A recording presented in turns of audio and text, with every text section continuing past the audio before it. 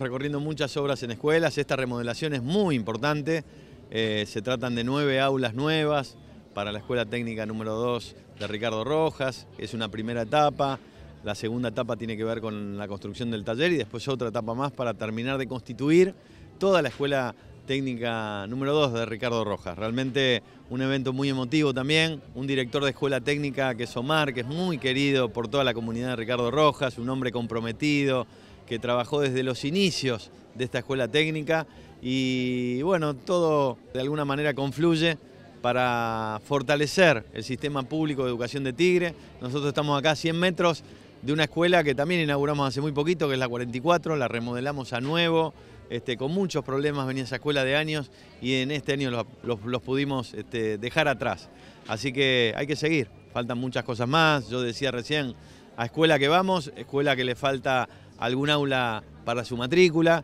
y entonces se hace necesario este, seguir trabajando en darle más infraestructura educativa a todas las escuelas de Tigre. Un día apareció un mediodía, ya no me acuerdo la, fecha, este, el intendente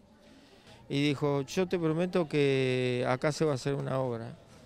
Y de ahí empezamos a juntarnos y se hicieron, se hicieron los, los croquis, se hizo el proyecto, los cálculos y bueno, y ahora está la obra.